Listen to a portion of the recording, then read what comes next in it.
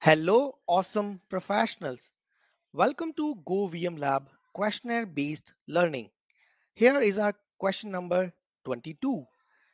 Which components takes care of tagging and untagging operations when the data center packets passes through the virtual switch? And your options are A. VNIC, B. VMNIC, C. VMKNIC, and D. PNIC.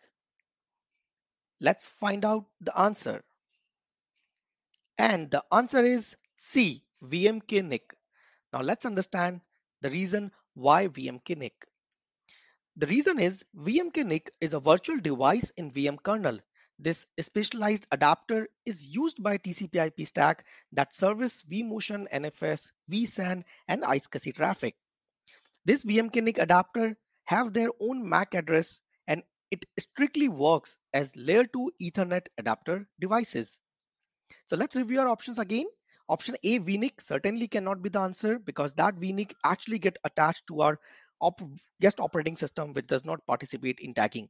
VMNIC is again a physical uplink or physical adapter which get attached to our physical host certainly cannot be the answer.